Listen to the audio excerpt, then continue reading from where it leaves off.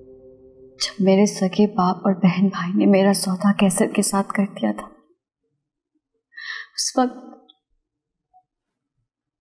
उस वक्त अगर आप ना होते तो ना जाने मैं कहाँ होती। मैंने तुम पर कोई एहसान नहीं किया रोशन एहसान तो किया है आपने शासिब भाई। जिन लोगों ने अपनी गैरत का सौदा कर दिया मैं उनको अपना कैसे मानूं? पूरी दुनिया में सिर्फ़ आपको अपना कहती हूँ।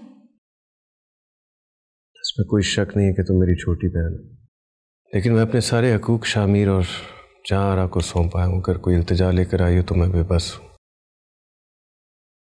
आपने मुझे अपनी छोटी बहन कह दिया। मुझे आपसे इससे ज़्यादा और कुछ नहीं चाहिए।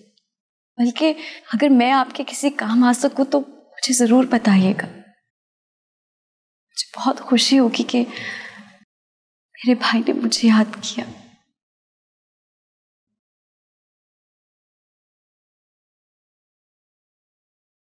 खैर से हाफिज। बख्तियार अपना वादा पूरा किया। अपने मकसद को छोड़ के मैं कैसे आ सकता हूँ?